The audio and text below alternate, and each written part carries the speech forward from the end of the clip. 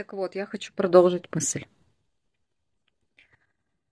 Я понимаю, что у таких необычных людей с другой ориентацией, да, с нетрадиционной ориентацией, есть право на все это. Я считаю, что пропагандировать, конечно, это не есть хорошо, но они имеют право высказаться. Это я сейчас немножко поясняю видео. Дело не вас, а в том, что людям интересно только, получается, понаблюдать за этим, ведь в основном, э, почему даже, ну, что и в жизни, что вот, допустим, на Ютубе выкладывают такие видео, чаще всего они больше всего сталкиваются с хейтом, э, с оскорблениями какими-то, да, потому что э, натураль, натуралов больше.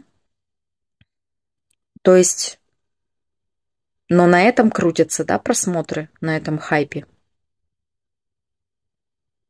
В общем, ничего я уже не понимаю. Э, у меня просто такое ощущение, что кому-то это может быть выгодно. А еще, ну, я вообще про дебилизацию, про развращения какие-то. Самое главное, что я хочу донести до вас, это то, что вот я бы вам советовала почитать книжку побывать где-то вы, где вы не были никогда, изучить что-то новое самим. И если есть такое желание высказываться, допустим, то надо либо лично человеку высказать, либо вот создавайте свои каналы и там э, сами транслируйте все, что вы хотите. Но не забывайте о том, что если уже ты взял на себя миссию такую, да, открыто вот так говорить, во-первых, культурно никого не оскорбляя с уважением. Во-вторых, информацию все-таки давать со смыслом. Потому что мы все-таки, наверное, еще люди разумные. На паузу приходится ставить. Тут ходят и ходят.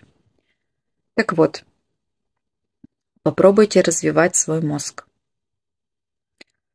Ну, потому что просто уже невозможно. Я понимаю, что кому-то выгодны такие люди – но задумайтесь о том, что надо что-то изучать. А, вот я, в частности, даю вообще пережеванную, вообще такую информацию, знаете, вот просто в рот только положить. А, у многих тоже такое вижу, что, ну, много где есть воды, а есть такие, у кого вот именно много сути, все по делу. Изучайте, смотрите, развивайтесь. Но только не деградируйте. Это очень опасно для вас же самих. Всем удачи!